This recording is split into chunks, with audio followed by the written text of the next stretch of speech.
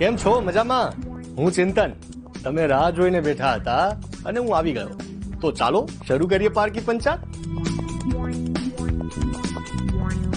તમે સાંભળ્યું હશે કે બે લોકો પોતાની મરજીથી છૂટા પડે બરાબર છે પણ શું કોઈ વ્યક્તિ પોતાનો જ બહિષ્કાર કરાવી શકે ખરા આવી ગોસિપ આપણા બનાસકાંઠામાં ચાલી રહી છે ચર્ચા છે કે ભાઈ કેસાજી ચૌહાણ જેમના મત લઈને ધારાસભ્ય બન્યા હવે એ જ મતદારોને કહે છે કે તમે મારો બહિષ્કાર કરો અને વળી એનું કારણ તો ઓર મજેદાર છે.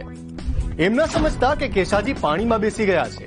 એમને તો ભૂગર્ભ જળના પ્રશ્નનો નિવેડો લાવવો છે, પણ સામાજિક પ્રસંગોમાં હાજરી આપતા સમય ખૂટી પડે છે. એટલે ગ્રામજનોના બહિષ્કારના ઠરાવથી સાહેબ રાજી છે. બાબા બાગેશ્વર ગુજરાત પધારી ચૂક્યા છે. સુરતમાં એમનો કાર્યક્રમ પણ છે. પણ આ કાર્યક્રમના આયોજકોને લઈને ચર્ચાઓનું બજાર ગરમ છે.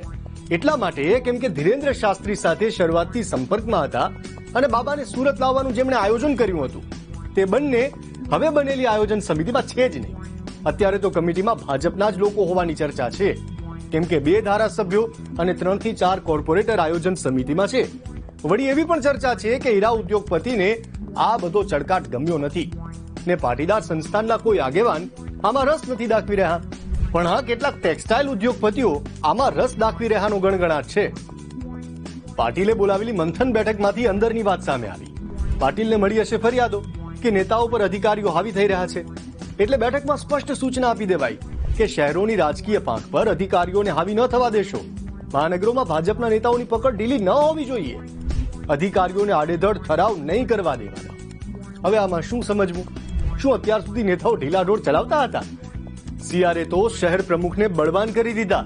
મેયર અને સ્થાયી સમિતિ વચ્ચે વિવાદ હોય તો શહેર પ્રમુખ નિવારશે. એનો મતલબ શું અત્યાર સુધી દુશ્મનાવટ હતી? કાયદો બધા માટે સરખો. એટલે જુઓ ને એક પછી એક નેતાઓ સામે કેસ થઈ રહ્યા છે અને કેસ ફાસ્ટ ટ્રેકમાં ચાલે છે. સજાઓ પણ થઈ રહી છે. સરપંચ પર હુમલા અને લૂંટના કેસમાં ચેતર વસારાને છ મહિનાની સજા થઈ. જોકે શરતી જામીન પણ મળી ગયા. આવા તો ઘણા ઉદાહરણ છે.